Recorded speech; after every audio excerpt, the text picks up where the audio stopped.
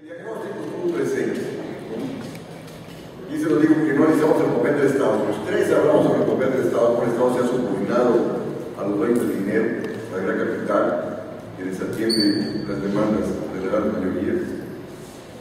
Eh, se señaló cómo el sector hegemónico a nivel mundial, el sector financiero, genera crisis tras crisis y los rescates son a favor de lo financiero, no a favor de lo productivo y mucho menos a favor de la creación de empleo.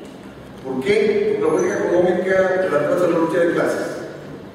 Los excluidos son muchos, aquí y allá, pero no tienen la fuerza suficiente para poder revertir esta situación.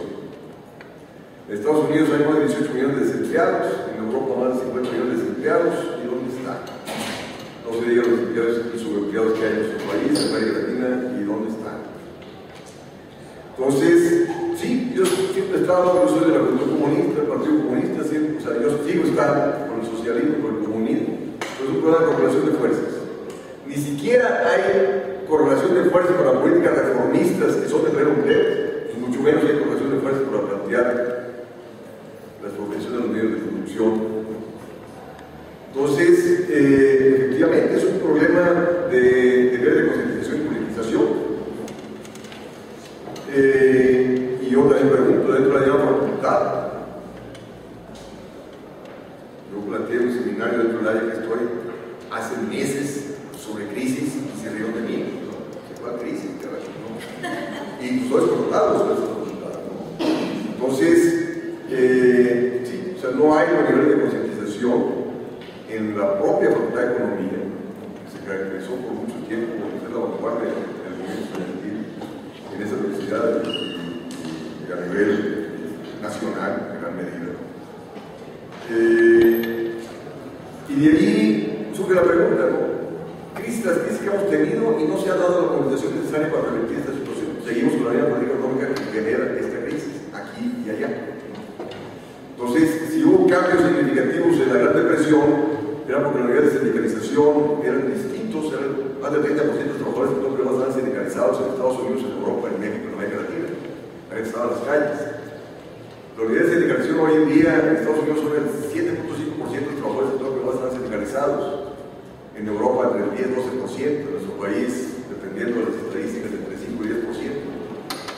Efectivamente hay una media que desinforma, mediatiza, y no hay los de constitución y comunicación para que los excluidos, que son mayores en cada crisis, eh, no se manifiesten.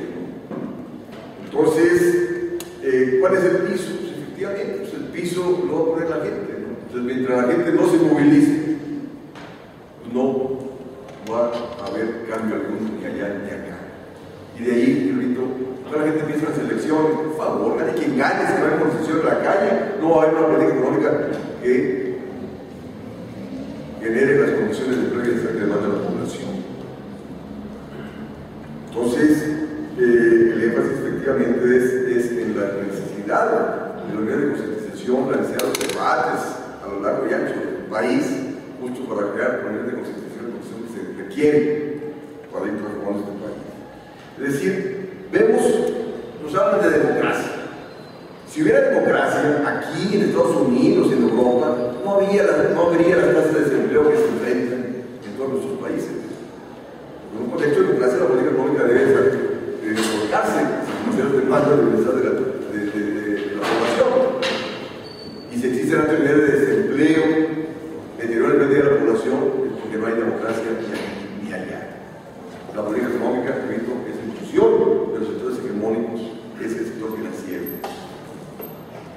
Entonces, eh, efectivamente, no hay futuro en este contexto de alto desempleo, no hay futuro en este contexto de menos Estado, más mercado, no hay futuro con control de los medios de comunicación, donde seguirá el proceso de desconcentración de la población. Entonces, vamos a un futuro muy negro, que no se resuelve en un año ni en dos.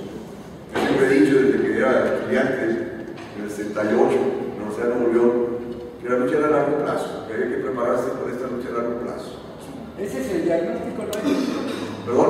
No, no, no, no, no que no haya futuro, repito, el futuro es negro, el futuro es negro. Que ahora va a haber mayor proceso de privatización, va a haber mayor proceso de privatización. Que la ley de acción público-privada, los bienes y servicios del sector público se va a aprobar, no tengo la menor duda. Que van por todo Pérez, van por todo Pérez.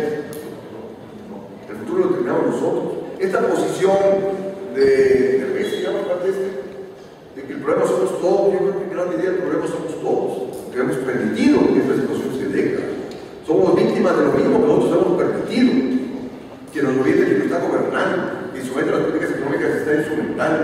Mientras hoy en día hay movilizaciones en Europa en contra de que se meta la constitución, la disciplina fiscal, en nuestro país se aprobó en el 2006 y ¿qué pasó? Nada, Se dio el golpe al SME, se ha estado prevaleciendo Pemex, ahí están las situaciones que hubo hace dos semanas, ¿y qué pasa en este país? ¿no? Nadie se manifiesta, cara. Le da mangancha para que el gobierno, el Congreso, el Poder Judicial siga aprobando violaciones a la Constitución, etcétera, etcétera. Y la respuesta es que nosotros estamos permitiendo eso. Sí, yo estoy de acuerdo, es insuficiente la cuestión del Zócalo. Todos debemos estar movilizados a lo largo y ancho del país, en la propia facultad, en la propia universidad, en las calles, en el metro, etcétera, etcétera, y no lo estamos haciendo. No lo estamos haciendo. Surge la pregunta. Pero crisis tras crisis nos trae, nos, sigue la inercia, sigue la inercia en la cual hemos estado. Y ahí que yo digo, va a tener que una crisis de grandes proporciones, que tenga alto costo, justo para que la gente en las calles, tal como aconteció en la Gran Depresión. Vaya abajo.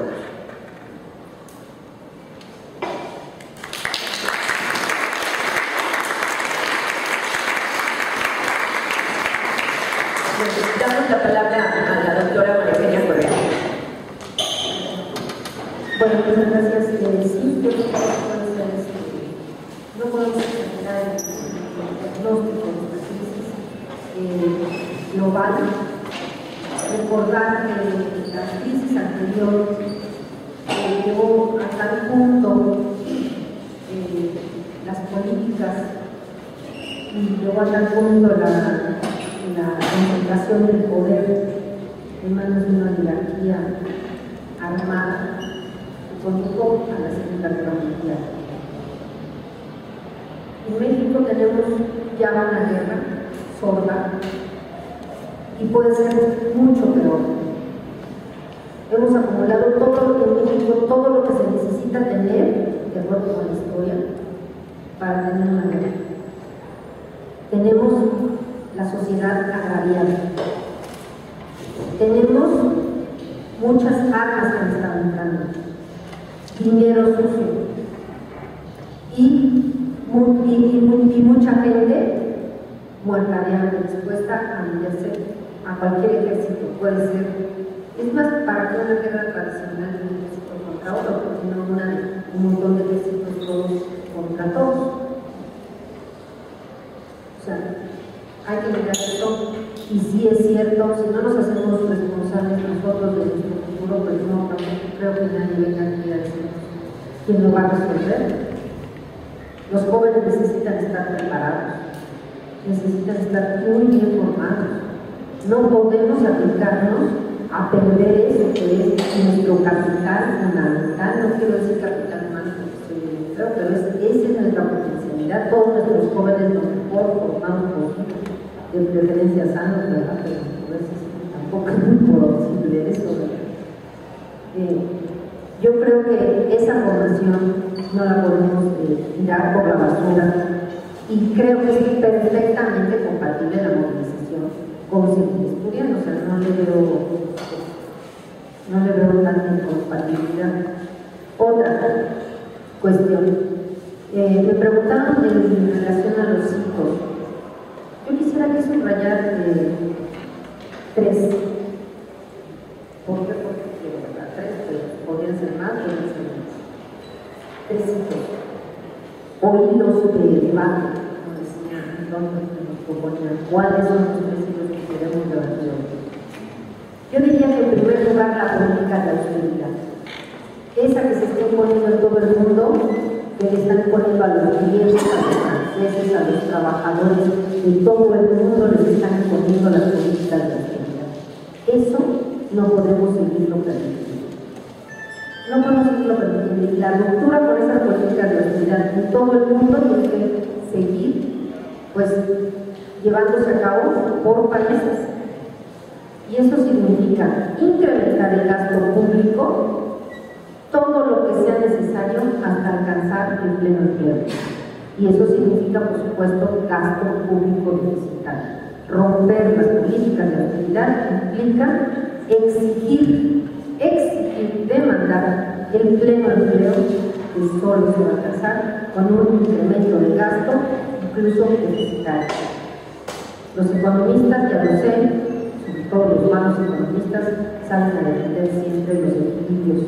Y yo digo que eso de los equilibrios, pues está bien que defiendan los compradores, pero no los economistas, que sabemos muy bien que tenemos que entender la economía de una forma dinámica y no está. El otro hilo fundamental del debate, me parece a mí, es romper las políticas del miedo. A mí me parece que esas políticas del miedo es lo que nos están paralizando y nos las están recetando además, recetando como mejoras a todos los niveles que sea posible. Miedo al jefe, miedo, no pero miedo sobre todo, enciérrate en tu casa, no salgas a los felices, no nada. Eh, romper esas políticas del miedo, pues hay que preguntarles mucho más a los psicólogos, a los politólogos, por dónde avanzar hacia romper las políticas del miedo. Pero a mí me parece que parte de romper, la, de las del miedo tiene que ser con información y con comunicación y tiene que usar métodos alternos porque no va a ser posible usar los medios de comunicación que están trabajando para, para los poderes eh, que tenemos en este país. Y el otro punto de debate que yo les propondría también es este, debatir cómo romper las políticas de certificación de la movilización social y de las organizaciones políticas, que son políticas expresas desde, desde, la, desde más en las oficinas de cualquier país, y yo necesariamente están en a veces también están en Washington, romper esa política de certificación de las organizaciones sociales y de las organizaciones políticas. Diría que esos son para mí los tres niveles. Otra cosa más, bueno, la mejor es que debería advertirles, nada más como dato curioso, deberían de saber que en México, de todo el gasto social que se ejerce, que el gobierno, ahorita ya el 33% de todo ese gasto social se dedica a pagar las pensiones. ¿Por qué? Pues porque las cuotas de los trabajadores se van a los bancos a que especulen y se las van a llevar, como dice Arturo Huerta, con toda la razón. Y, y las cuotas de los trabajadores eran la forma en que se pagaban las pensiones de los trabajadores ya jubilados, porque era un sistema de solidaridad. Los que trabajaban pagaban las pensiones y los, que, los jubilados cobraban esas pensiones de las cuotas de los, de los que estaban trabajando. Cuando se acaba el régimen de solidaridad, quien tiene que pagar las cuotas, quien tiene que pagar a los pensionados su pensión, es el gobierno. ¿De dónde lo saca? Del gasto social. Y como ha estado recortando constantemente todo el gasto, todo el gasto público, menos el pago de cosas, servicios financieros, entonces ¿de dónde lo saca? Reduciendo los otros gastos sociales. Entonces el 33% se va a pensiones y reduce el gasto de salud hasta, su último nivel y reduce el gasto de educación y todo lo demás. Mañana pasado, nos van a venir a decir que los pensionados nos están costando muy caros al gobierno. Después de que el mismo gobierno, después de que el mismo gobierno destruyó el sistema de seguridad social, ya era precario y era malo, porque solamente abarcaba a los que trabajaban y no abarcaba, por ejemplo, a muchas mujeres que se quedaban en sus casas trabajando y se hacían viejas y luego, pues claro, tenían que vivir de la calidad pública, de la calidad de los hijos. Entonces, que ya de por sí era malo, rompen ese sistema de seguridad y ahora nos van a decir que es muy caro y les van a bajar la pensión a los trabajadores. Digo, a los. ¿Por qué?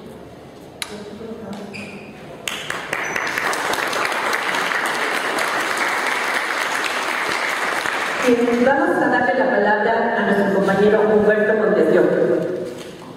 Muchas gracias. A mí me parece que el día de mañana vamos a tener un zócalo repleto de mexicanos mexicanos indignados, encabronados, agraviados, protestando.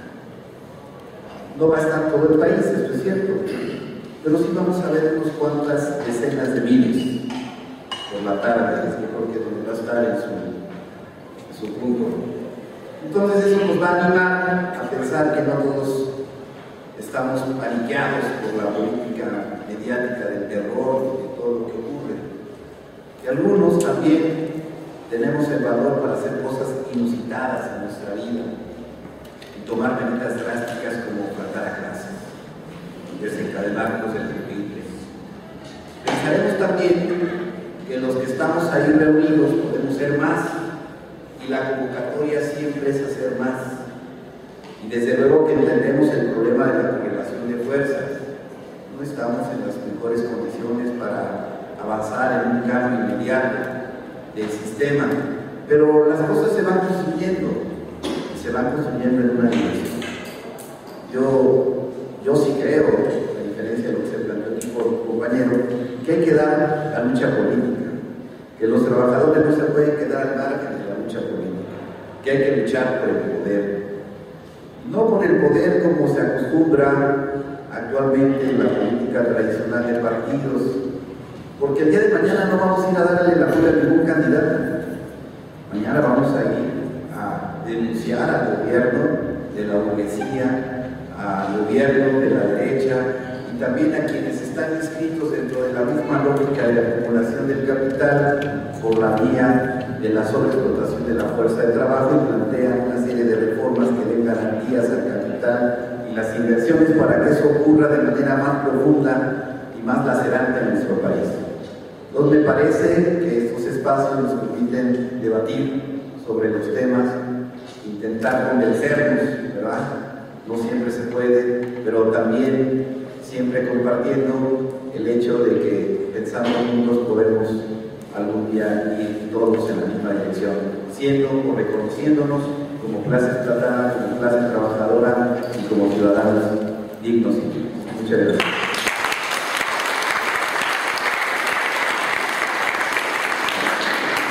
Bueno, compañeros y compañeras, yo quiero agradecerles su pido unas disculpas si fui un poco brusca, lo que quería propiciar que hubiera un debate. Este, lo hago públicamente, así también a los compañeros. Creo que lo que hay que hacer es multiplicar estos espacios, porque efectivamente se necesita mucho debate, ideas de todos y todas para mejorar lo que es las tareas universitarias que nos corresponden y como trabajadores y como eh, gente interesada en transformar este país de manera digital. Entonces, les agradecemos la participación. Ah, perdón. Nada más una pregunta. Es que, este, eh, bueno, yo soy de Chapingo. El día de mañana vamos a sacar un contingente a la marcha, pero este, queremos saber qué actividades tienen planteadas. Eh, yo, yo, yo creo que es importante discutir y discutir, pero lo más importante pues, es que eh, determinamos qué vamos a hacer.